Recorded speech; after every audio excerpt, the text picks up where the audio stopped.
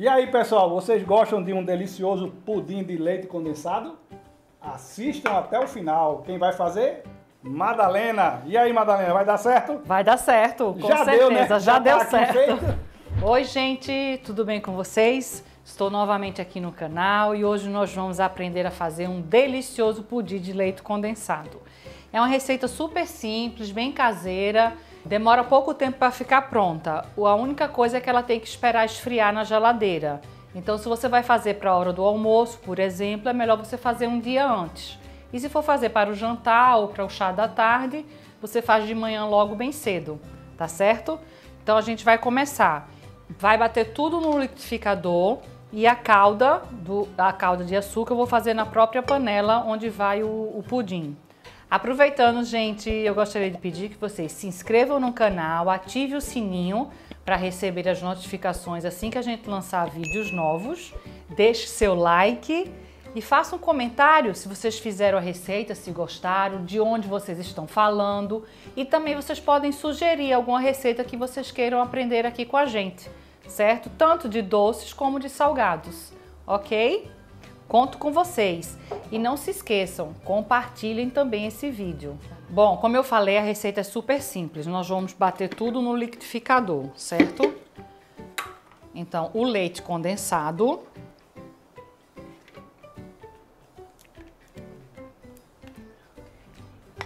Lembrando que a quantidade dos ingredientes fica na descrição do vídeo. A quantidade de cada ingrediente.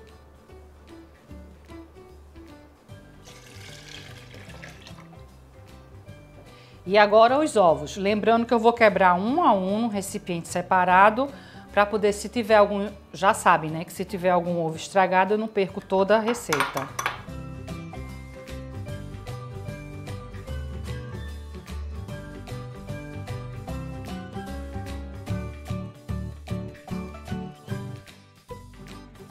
Pronto, eu agora vou bater tudo no liquidificador, certo?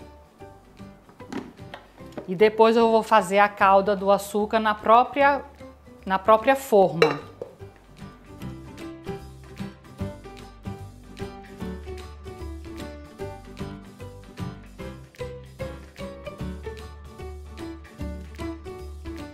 Pronto, os ingredientes do pudim já estão todos aqui misturados. Eu agora vou fazer a calda do açúcar, certo? Numa panela. E aí eu vou mostrar para vocês como é que ela fica bem gostosa. O bom é deixar fogo baixo. E de vez em quando eu vou dar uma mexida. Quando o açúcar já estiver totalmente derretido, aí a gente acrescenta água. E é bom que essa água esteja morna, tá? Para não ter um choque térmico muito grande. Pronto, gente, eu vou mostrar aqui para vocês como é que fica o açúcar, tá? De vez em quando a gente vai dando uma mexida para ele não queimar. E quando ele ficar totalmente dourado e derretido, eu vou colocar a água já morna, certo? Para não ter perigo de ter um choque térmico muito grande. Pronto, o açúcar já está todo derretido. Eu agora vou acrescentar a água, que ele vai virar uma calda.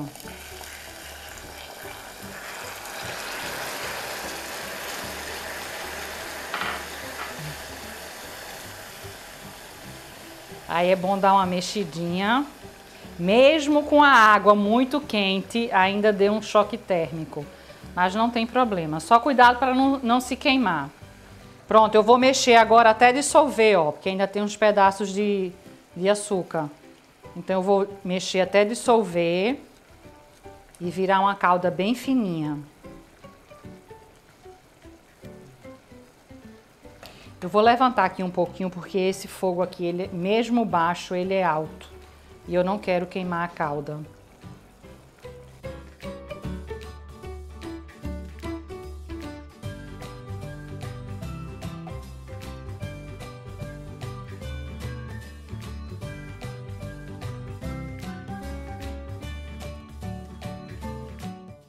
Pronto, já chegou no ponto de calda, o açúcar está dissolvido.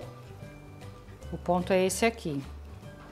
Eu agora vou passar para a forma que vai o pudim que vai para o forno. Pronto, a calda já está pronta. Esse é o ponto de ligar o fogo. E vou, vou pôr aqui na forma onde vai o pudim.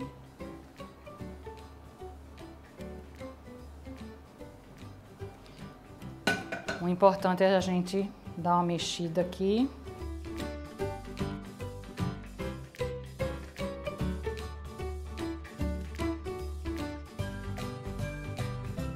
Lembrando que você pode pegar com uma luva, porque tá meio quente já. Pronto, gente, já deixei a calda esfriar um pouquinho aqui. Passei ela por toda a forma. Vou colocar agora aqui o pudim. E lembrando que vai para o forno durante 45 minutos em forno 180 graus, pré-aquecido e o importante, em banho-maria ok? Agora vai para o forno, 45 minutos em banho-maria. Forno pré-aquecido a 180 graus. Já já eu volto com o pudim já pronto. O pudim já está pronto, demorou 1 hora e 10. Isso depende de cada forno, tá certo? É, o importante é você ir testando. Vocês tenham cuidado quando tirar com a água que ficou no banho-maria, tá? Porque tá tudo muito quente. E agora eu vou esperar esfriar um pouco para poder desenformar. Já já eu volto já com ele pronto, ok? O pudim está pronto, eu deixei esfriando mais ou menos 20 minutos, meia hora. E agora vai ser a hora da verdade. Vamos lá, desenformar. Acho que eu vou chamar o chefe Zeca para me ajudar. chefe Zeca. Sério mesmo, que agora eu fiquei com medo. Se der errado, eu vou mostrar no vídeo, eu prometo. Vai, chefe Zeca. Meu Deus do céu. Esse prato aqui que é horrível. É, esse prato. Mas vá, vamos lá. Ei! horrível, mas deu certo. Horrível não, deu, deu, certo, certo. Deu certo. Eita, que maravilha. Ai, aqui. que delícia. Pronto. Pessoal, ó, me chamou aqui, ficou com medo, ia dar certo. Mais uma sugestão para uma comemoração, um aniversário. Festa final, de final de ano. Final de ano que vem aí, Natal, Réveillon, tudo de bom. Tudo de Madalena bom. aqui no nosso canal está sendo um sucesso, vai ser um sucesso, graças a Deus. Comentem, façam seus comentários. E Madalena, parabéns. A gente vai provar, né? Para ver se tá Sim, bom. Sim, lógico, né? Tem Com muita certeza. gente ao redor, sempre eu digo aqui, para comer essa maravilha aqui, né? Eu vou ser o primeiro. Como fui eu que desinformei, eu vou experimentar. A primeira fatia é minha. Sempre esqueço cuidado. Mas tá aqui o garfo. Ajuda aqui, chefe Zeca. Ajuda, ajuda. Vai, levanta aí. Que o pudim ficou tão bom. Pronto. Pessoal, ó. Maravilha. Delícia.